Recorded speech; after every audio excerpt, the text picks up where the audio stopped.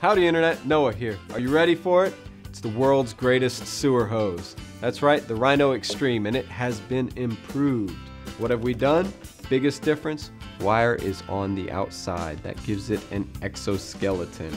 It still has the same 24 mil equivalent sewer hose, but that wire being on the outside gives it superior abrasion resistance and superior compression.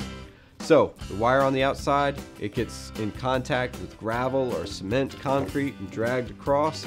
The gravel is in contact with the wire and not the hose material. So it will be scraping against the wire and keep your hose preventing punctures or scrapes or tears. Now, the improved compression is great because if you are close to your dump station, you can make a direct line. You don't have a sewer hose snaking all the way across. Just extend what you need and compress it back for storage. Although we've changed a lot, we've still kept that polypropylene wire the same. So that means that you can still crush it, step on it, drive over it, and it will not crush. The Rhino Extreme comes in two kits, a 15 foot kit and a 20 foot kit. The 20 foot kit has two 10 foot hose assemblies that you can connect together, use it all, or just use one. We also have a 5 foot extension and a 10 foot extension. The elbow we have changed as well.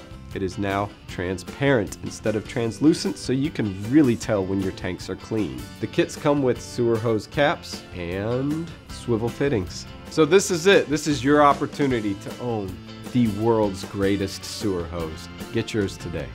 Camco. Net. Net. Net.